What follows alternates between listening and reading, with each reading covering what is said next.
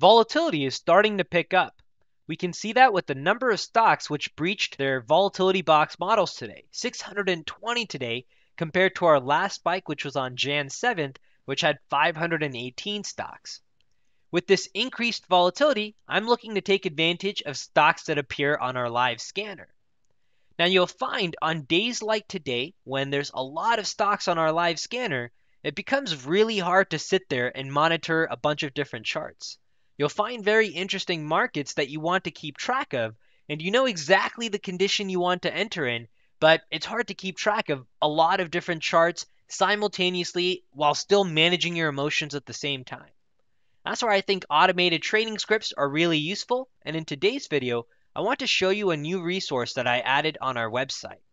You can access it by clicking tosindicators.com slash automated hyphen trading or automated trading up here in the nav menu.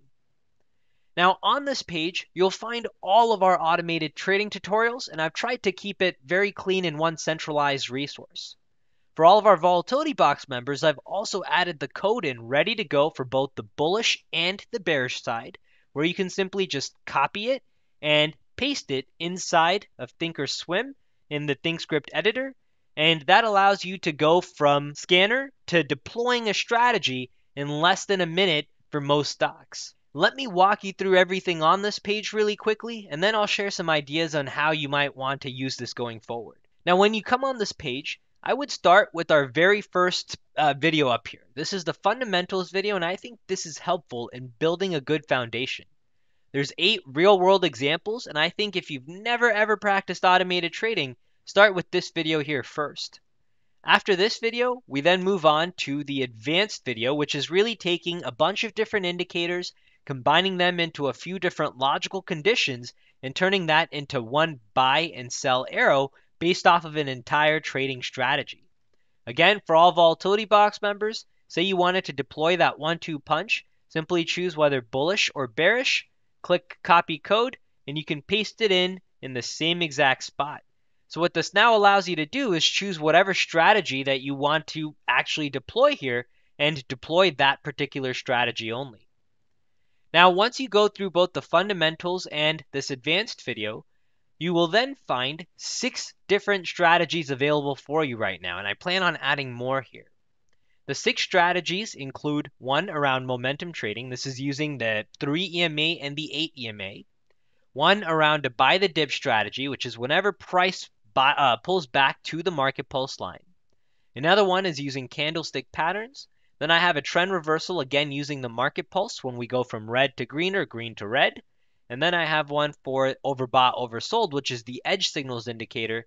And then finally, a 50 SMA pullback. You can go through each of these. You can see the videos. And for everyone, if you're interested in learning how to build this script that's available here, you can just go through the video.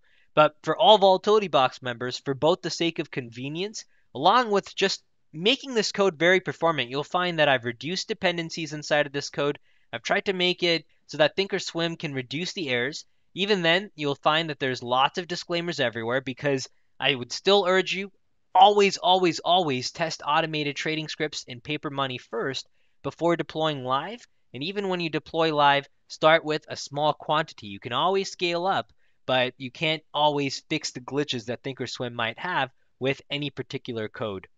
But there you have it, a new resource available with all of the automated trading scripts in one central place. Pick and choose the different strategy Simply copy the code and you can deploy it based off of whatever stocks appear on the live scanner that you're looking to trade. Over time, I'll continue to add more strategies here, which should make this a really nice resource that you can simply come to, choose whatever you want to use for deploying the strategy, and move on from there.